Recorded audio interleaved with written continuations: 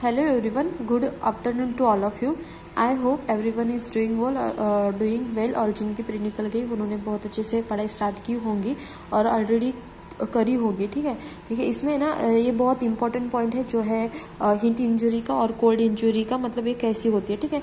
इसमें मैं बता देती हूँ शॉर्ट फॉर्म में थोड़ा सा कि जो है हीट इंजरी किस चीज़ की वजह से होती है? थर्मल डेट पॉइंट की वजह से होती है। थर्मल डेट पॉइंट मतलब क्या?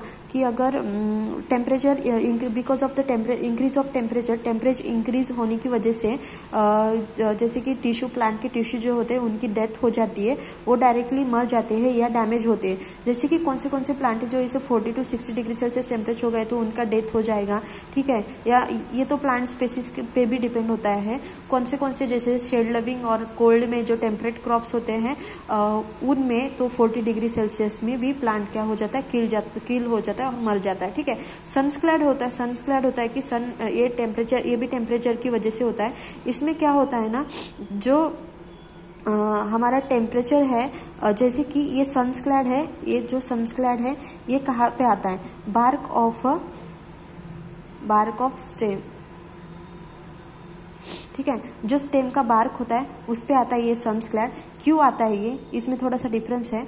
अगर डे में टेम्परेचर ज़्यादा है और वही नाइट में टेम्परेचर कम हो रहा है, दिन में टेम्परेचर ज़्यादा होने की वजह से और नाइट में टेम्परेचर कम होने की वजह से ये सनस्क्लैड होता है और ये क्या पे होता है? बार्क ऑफ़ स्टेम पे होता है, ठीक है?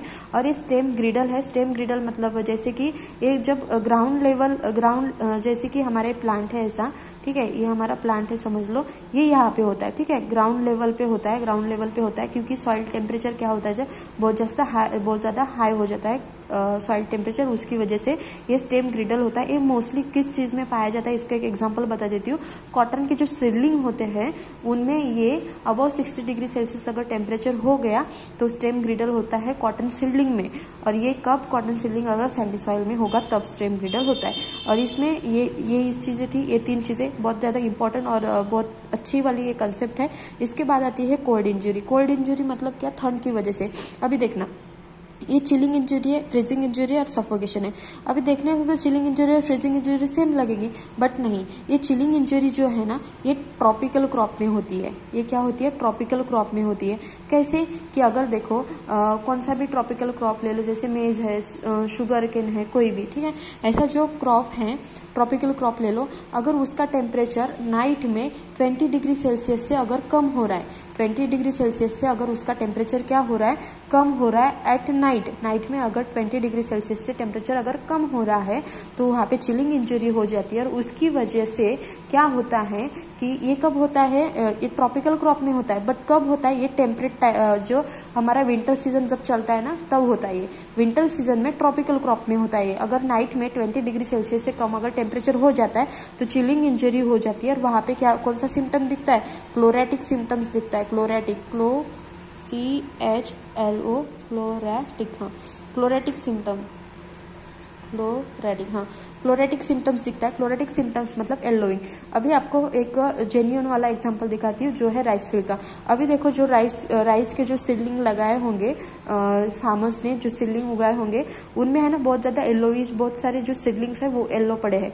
क्यों हुए हैं? उनमें भी चिलिंग इंजरी हुई है, क्योंकि एट नाइट नाइट में अभी विंटर चल रहा है और नाइट में ट्वेंटी डिग्री सेल्सियस भी सेल्सियस से कम टेम्परेचर हो जाता है। उसकी वजह से उनमें क्लोरेटिक सिम्टम्स आ गया और क्लोरेटिक मतलब येलोइंग हो रही है उनके सिलिंग्स में।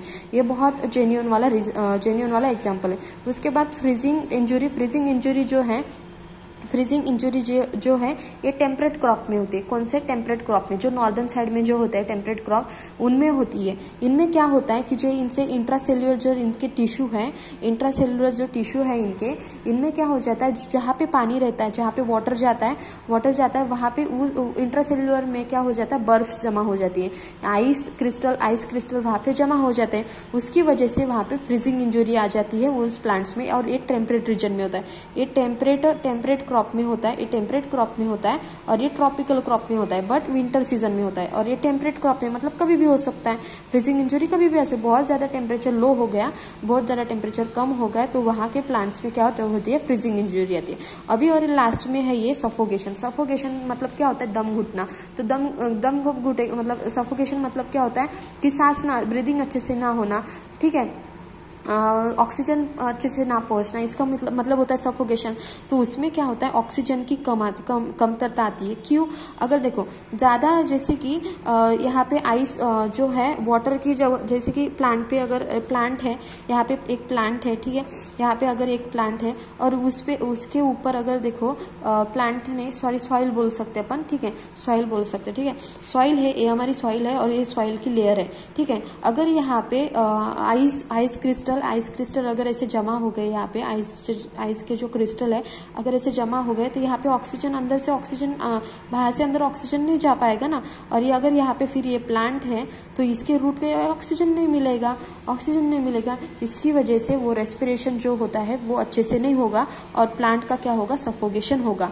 ऐसे ये तीन पॉइंट है। आई होप आपको ये बहुत अच्छे से समझ में आए होंगे। Thank you so much